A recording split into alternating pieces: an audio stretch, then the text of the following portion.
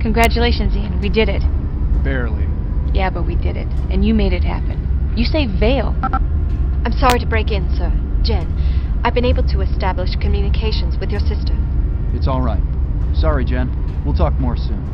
No problem. Ian, I just heard. I can't believe it. You saved so many people. Word of the boat lift is spreading all over Kentares.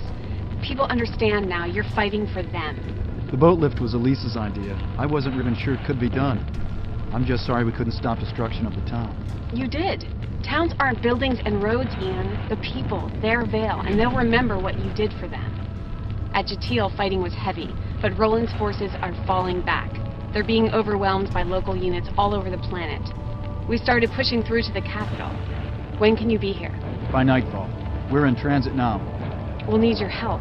Roland's concentrated his remaining forces in the city. It's going to take everything we have.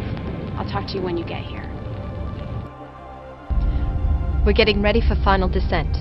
I've received a tactical upload from the Resistance.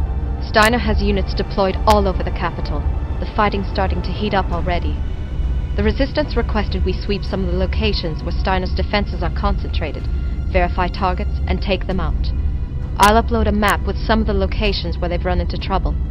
Once you complete the mission, I'll have had time to coordinate with the Resistance to form a tactical overview. This is going to be tough, but we win here and it's over. Steiner has nowhere to retreat to. Good luck, sir. Young Duke, I have never asked you. Have you ever fought in a city before? Not like this one, Carl. It's not like anything else. Mechs aren't built for city fighting. They're still the most powerful weapon on the field, but they're at a terrible disadvantage. Tactics need to be changed. Long-range weapons are often useless. Sensors can be blocked, the enemy can readily hide and overwhelm you. Concentrate on shorter-range weapons. If you use missiles, I recommend SRMs only. Watch your heat, particularly if the enemy deploys flamers. You may wish to use ECM and active radar only in limited bursts to conceal your position. The worst thing you can do is let yourself get surrounded.